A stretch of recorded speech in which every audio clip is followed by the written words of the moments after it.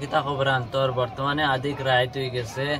আজকে উনত্রিশ তারিখ। উনত্রিশ তারিখ বহুত রাইত হয়ে গেছে। আর লালমাটি আর ও বাজুর খবর তোরা কইলাই ড্রাইভার অলরে বহুত ইম্পর্টেন্ট ইম্পর্টেন্ট আর্জেন্ট আপডেট এগু এখন এখন করে জানাই পেলাই মই রাইতো ওলা ভিডিও বানাই। আর কারণ লালমাটির রাস্তা ক্লিয়ার হয়ে গেছে যে যে জানো না শুনিলাও খালি গাড়ি যার তোমাদের সাইডে দি ভিডিও দিয়ার আমি দেখবা লাগিন।